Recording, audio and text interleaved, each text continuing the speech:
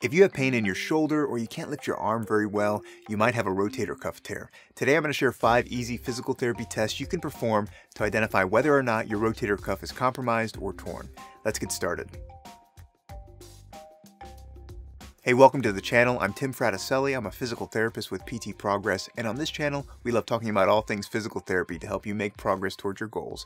And if your goal is to figure out whether or not you have a rotator cuff tear, this video is for you. We'll talk more about rotator cuff tears in general in this video up here, and be sure to stick around at the end because the next video that plays will go over the top exercises you can do for non-surgical rotator cuff rehab but today we'll just review the five tests you need to know for identifying a potential compromised or torn muscle of the rotator cuff. Okay, the first test that I like to perform in the clinic is called the empty can test. This test targets one of the rotator cuff muscles that most commonly tears at the tendon, and that's called the supraspinatus muscle.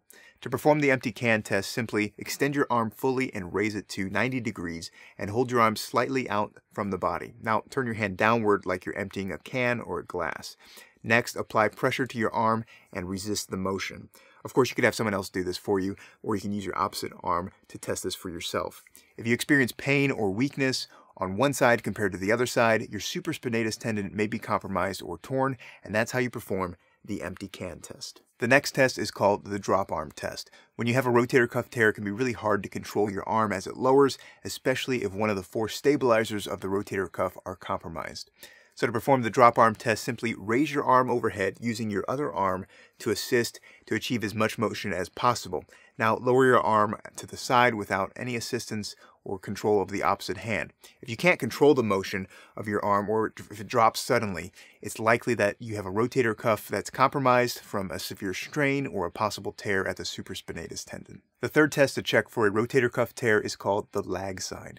Start by bending your elbow to 90 degrees and with your opposite arm, position the other arm away from your body slightly and into external rotation, kind of like you're about to throw a baseball. Now release your other hand from that arm and try to maintain that position. If your arm drops or lags, you have a positive sign, and your supraspinatus or your infraspinatus, possibly even the teres minor tendon, may be compromised or torn with a positive lag sign. The fourth test to check for a rotator cuff tear is called the infraspinatus test.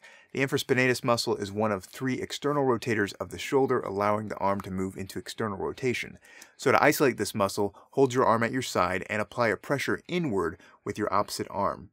Pain or weakness or the inability to hold a position against resistance indicates a positive test and a high likelihood of infraspinatus compromise or tear. The fifth test is called the lift-off test and is useful for identifying a tear or compromise in the subscapularis tendon. The subscapularis muscle moves the shoulder into internal rotation, so to perform the test, position your arm behind your back and now lift your arm off of your back. If this produces a pain or you're just not able to lift or perform the movement at all because of pain or weakness, it's a positive test and it could indicate a subscapularis compromise or tear. So for a quick review, we have the empty can test, the drop arm test, the lag sign, the infraspinatus test, and the liftoff test. If you want to learn more about rotator cuff tears, watch the video up here, and if you're interested in learning 10 exercises you can do for the rotator cuff, I'll guide you through those exercises in the video that'll play next.